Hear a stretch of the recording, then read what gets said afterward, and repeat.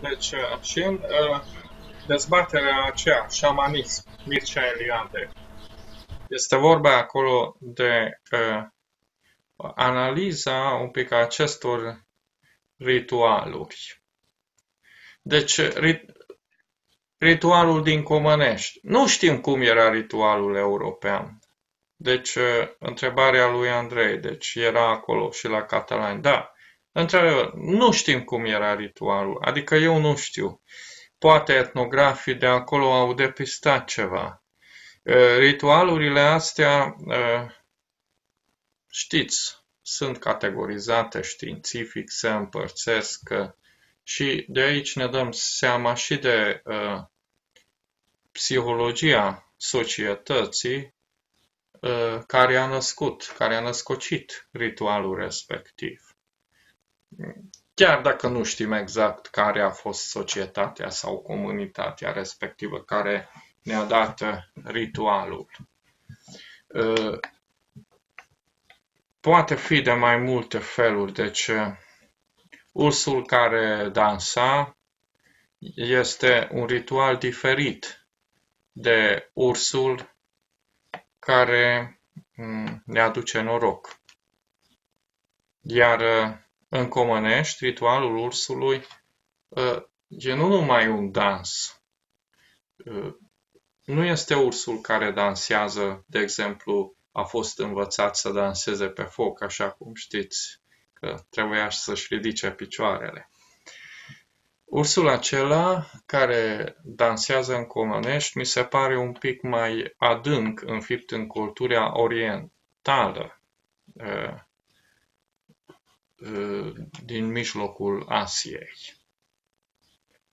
Pentru că, a, și am vorbit de elementele alea care se folosesc sunt foarte multe elemente care se folosesc în ritualul samanice în Asia. Nu numai toba aceea seamănă, ci foarte mult îmbrăcămințile, bătele alea, toate, toate sunt uh, legate de șamanismul oriental. Uh, un lucru interesant, deci să nu uităm că acolo comunitățile uh, care au trăit sunt foarte multe comunități din zona aceea uh, al Orientului Asiatic, Cumani, după care are denumirea orașul Cumănești, Iași, uh, Pecinenii și o grămadă și maghiarii, dar, uh, dar mă rog, acolo era o influență foarte adâncă. Deci ritualul ursului, acolo cu cântecele și cu tradițiile ale, alea uh, iese un pic din uh, comunul ritualurilor europene. Uh, asta e nu numai părerea mea, ci și a celor care au mai, s-au mai uitat la aceste ritualuri, etnografi, sociologi și mă rog. E bine, acum nu știu dacă am exploatat uh, formele în care muzica nu este legată neapărat de dans. Deci, uh, când se cânta la mort, când se cânta singur la animale, uh, ritualurile de anul nou și, mă rog, cam astea ar fi tipurile de forme de manifestare a muzicii singure. Dar muzica de joc și muzica ritmată și Muzicile care se dansează nu se pot separa în niciun fel de dans, pentru că aceste două culturi s-au îmbinat și au devenit o formă de manifestare a comunității izolate în care a luat viață uh, această formă de, de distracție, de a, de a merge și hai să ne distrăm. Deci, uh, uh, în limbajul nostru modern seamănă mai mult cu un performance sau happening. Happening în cazul în care toată lumea cântă, dansează, muzicianii fac melodia, ă, dansatorii cântă, chihuie, toată lumea dansează. Unul chihuie dintr-un colț, celălalt îi răspunde din celălalt colț că hai că te-am auzit, că da, nici tu nu ești mai bun și așa și așa și merg, merge ping-pongul ăla cu chiuiturile. Deci un fel de happening.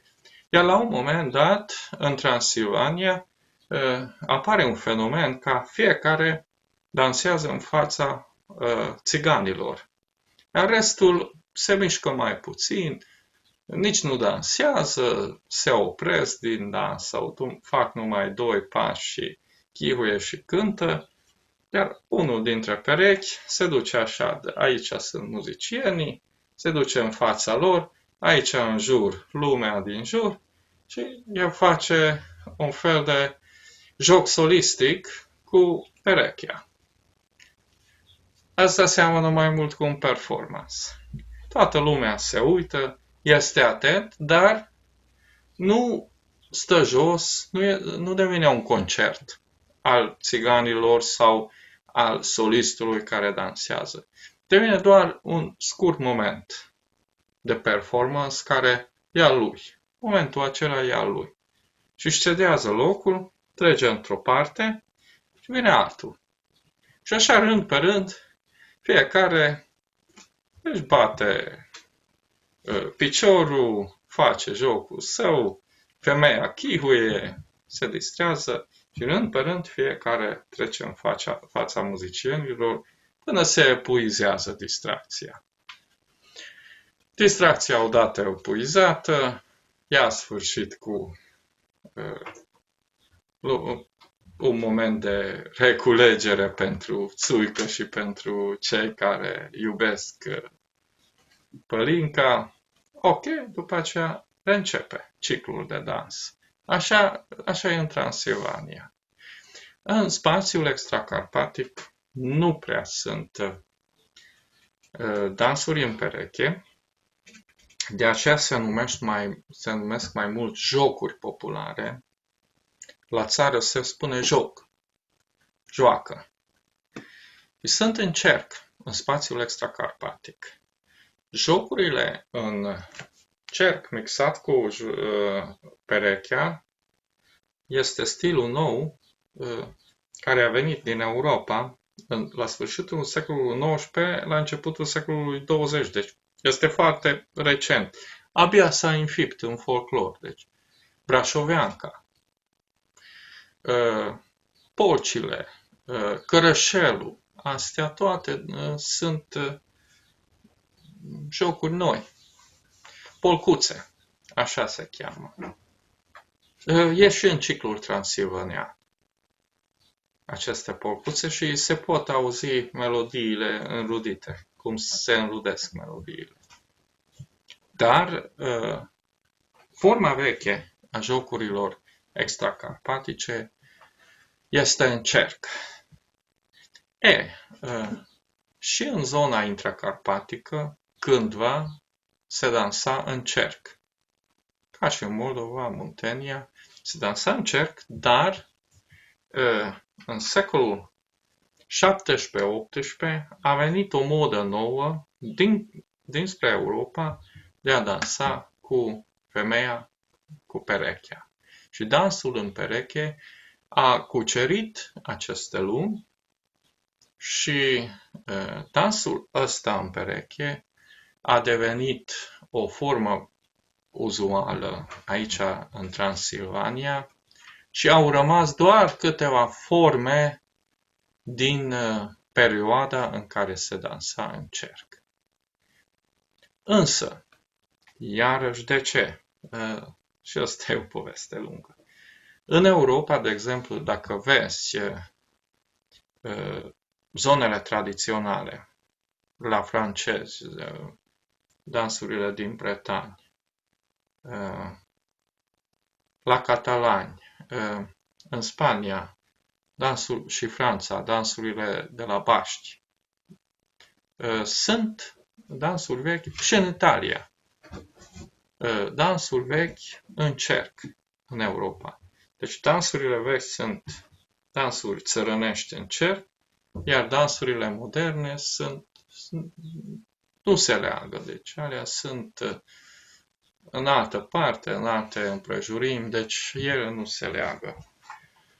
În Transilvania, cred că v-am mai spus și vă mai spun atunci, s-a întâmplat că s-a legat pentru că în Transilvania, de-a lungul vremurilor, între pătura socială înaltă și țărănime, erau pături sociale de trecere, nu era o ruptură totală între sus și jos. Între susul și josul societății era mereu un mijloc, iar mijlocul ăsta era foarte tare. Astfel ca o cultură influențată din Europa a venit și a pătruns în societatea înaltă, societatea înaltă a avut un direct contract cu o pătură medie. A predat. După aceea, iarăși și mai jos, și mai jos, și astfel a ajuns la țărănime muzica aceea din evul barocului, care era pe vremea aceea muzica societăților înalte. Și s-a transmis. Astfel, în Transilvania s-a format o, o, un fenomen foarte interesant, ca muzica țărănimii este o formă sedimentată a unor vremuri trecute a muzicii societăților înalte și ba chiar a influențelor culturii europene. Asta se manifestă în formele de dans, în primul rând, și, și în melodii. Melodiile au fost preluate pe de o parte din lumea asta occidentală, care le-au influențat. Dar țăranii au cântat și melodiile lor pe ritmurile care a venit cu moda de sus în jos. Astfel, acum, în rândul țărănimii, există cultura uh, muzicală, care este din aceeași vreme cu forma de manifestare a muzicii. Este o cultură muzicală mult mai veche, formată prin cântece vechi pentatonice, care au fost asimilate de muzica aceea tradițională și în plus s-a mai sedimentat și ceva nou de-a lungul vremurilor și tot așa a fost asimilată și totul asta s-a fiert și acum e cultura lor, a unor comunități închise, care, uh, care într-un fel a conservat ceva, dar a și format ceva, fiind o comunitate închisă, a format uh, din conservarea asta cultura lor proprie, care, mă rog, într-un fel nu seamănă cu cultura satului care se află la 5-10 km, tot așa un sat izolat, ori psihic, ori geografic, ori și psihic și geografic. Deci sunt culturile izolate. Deși cândva muzica semăna sau era aproape același, aici apare sub forme diferite, interpretări diferite, recunoaștem melodiile. Dar vedem că melodia aceasta a fost scoasă dintr-o anumită cultură, acolo dintr-o total altă cultură.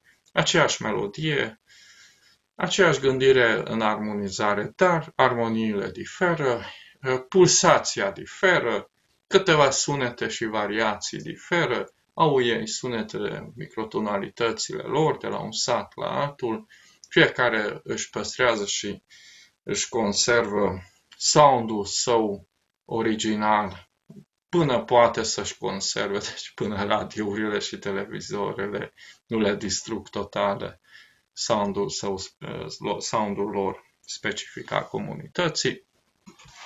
Și din acest moment uh, putem vorbi de uh, o moștenire care poate fi aceeași, o moștenire comună, dar totodată diferită din cauza izolării și fiecare cu frumusețile lui. O paletă de mozaic cu multe culori, dar fotografia e același. Cam așa să închipuiți treaba asta. Nu știu dacă la asta te-ai referit, Vlad.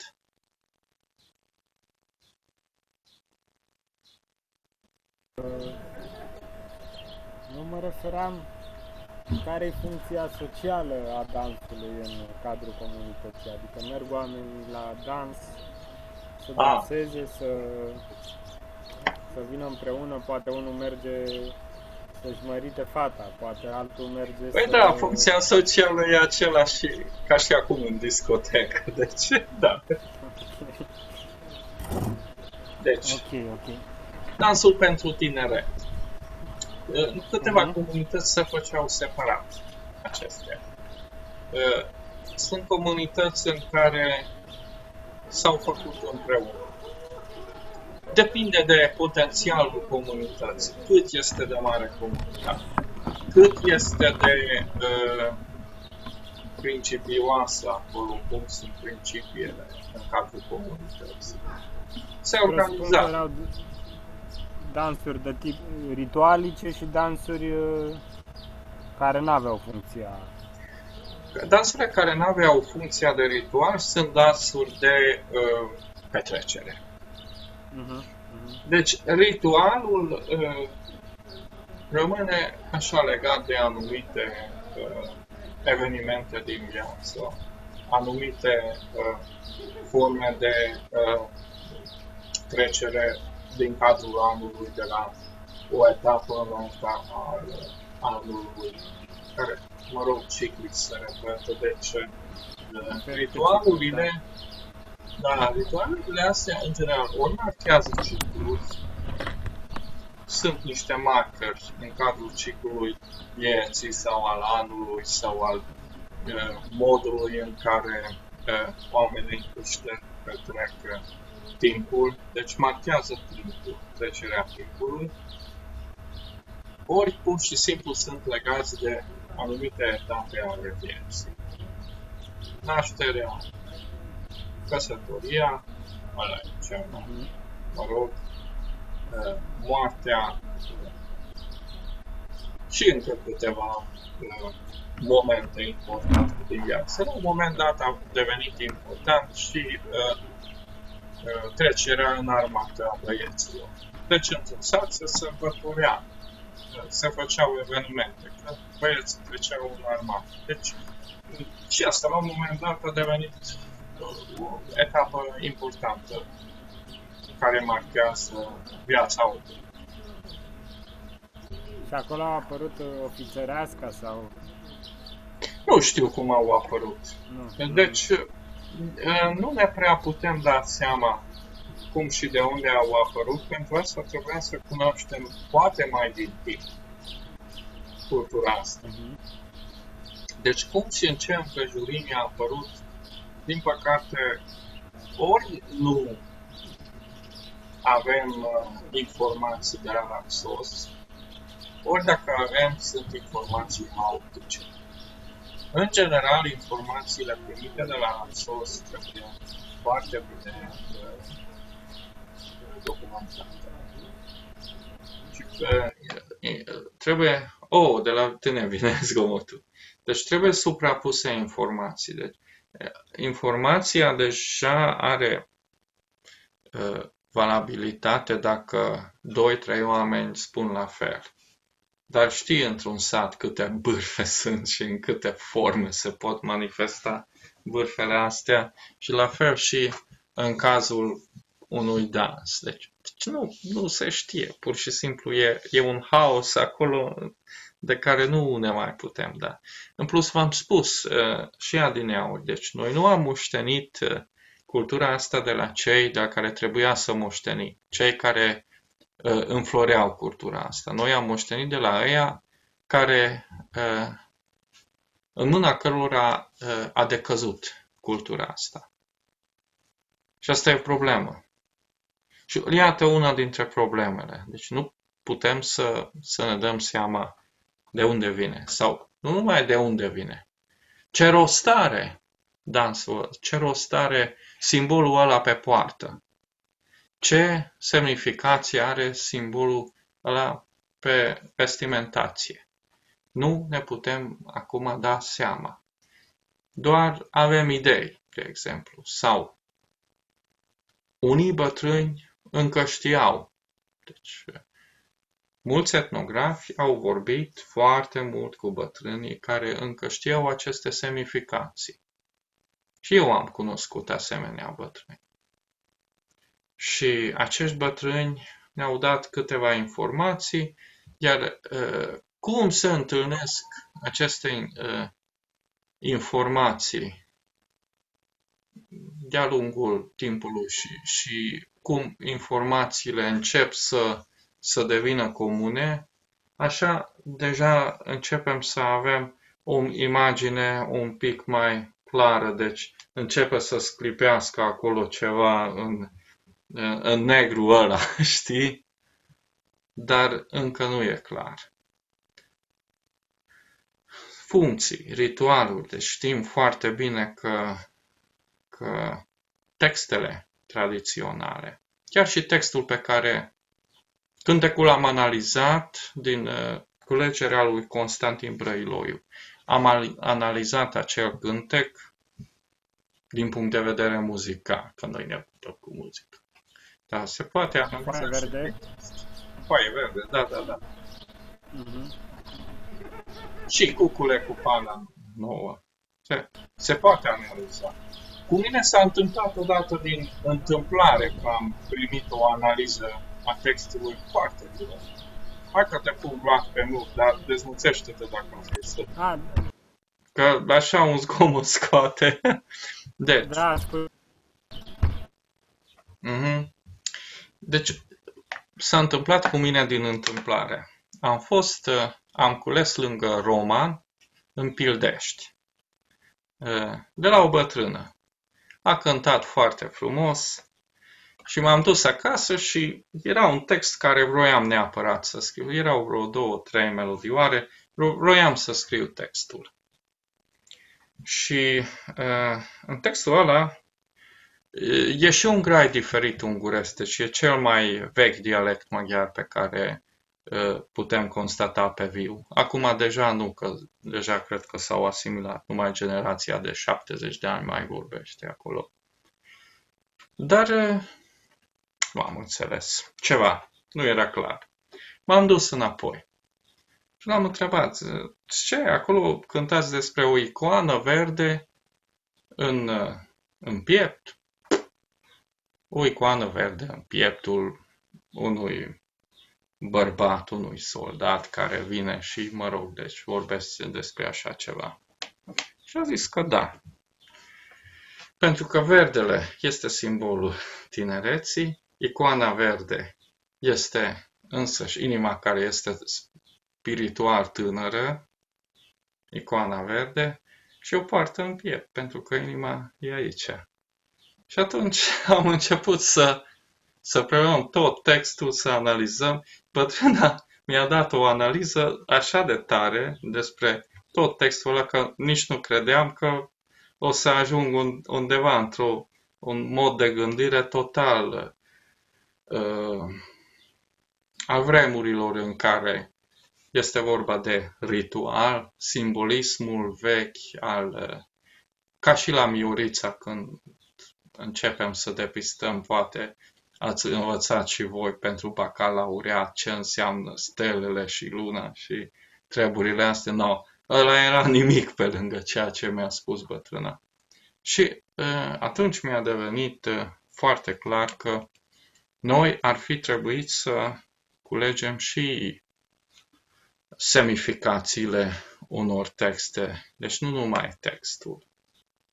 Într-un fel m-am simțit ca și în bancul ăla când, nu știu dacă știți bancul când câțiva prizonieri stau împreună.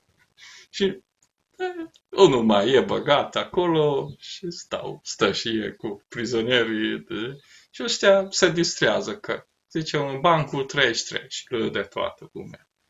Da, bancul 43. E, râde toată lumea. Și și iese apucă, e, bancul 53. Nu, primește unul. Nu că bancurile că peste 50 sunt despre șef și alea nu se spune. no. Deci, imaginează-ți că o comunitate închisă, într-un fel, așa trăiește. Deci acolo bancul nu trebuie spus.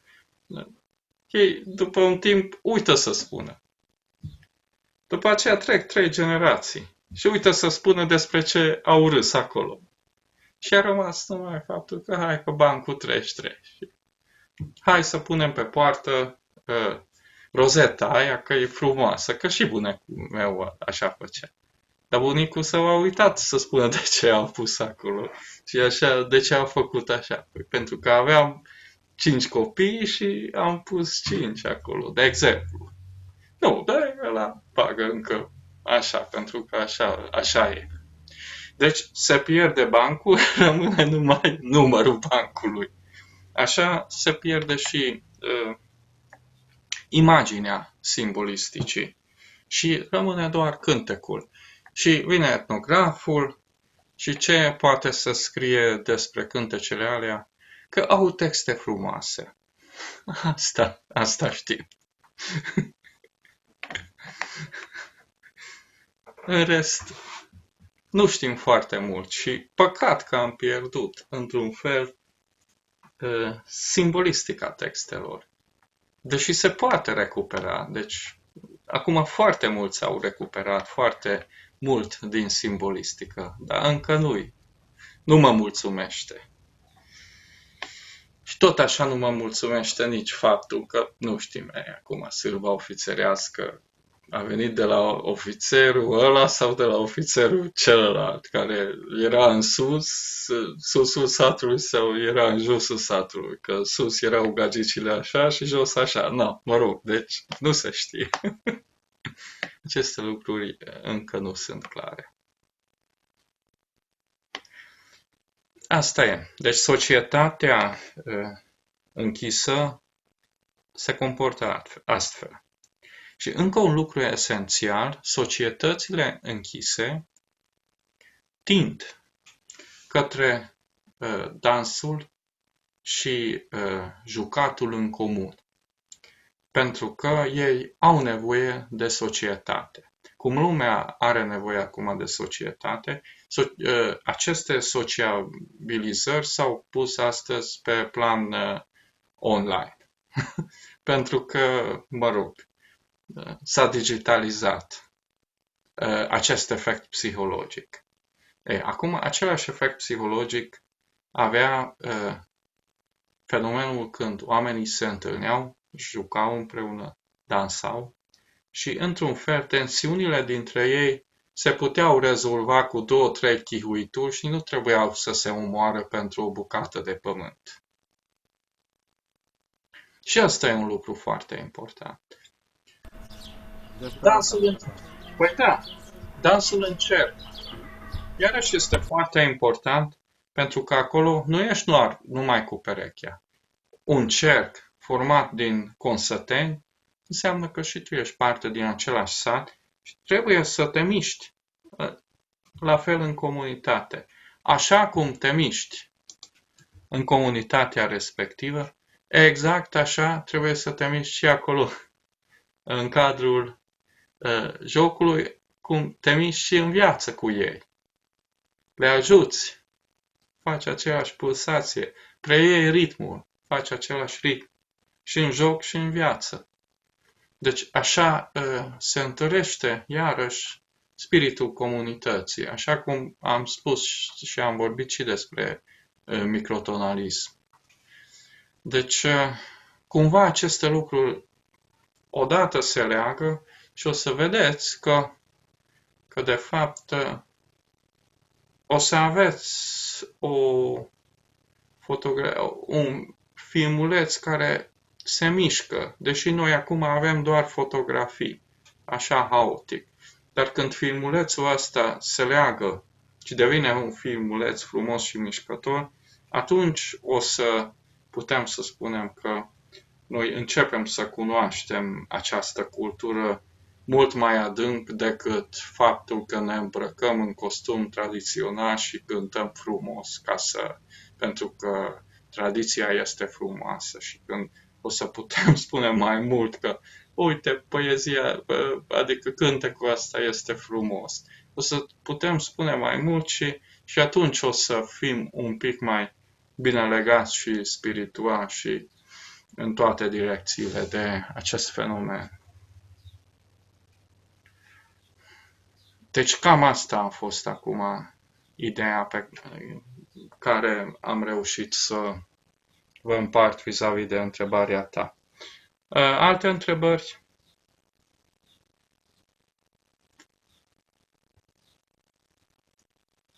Se cam pierde. Asta ar fi ultima generație, nu-i așa, Feri?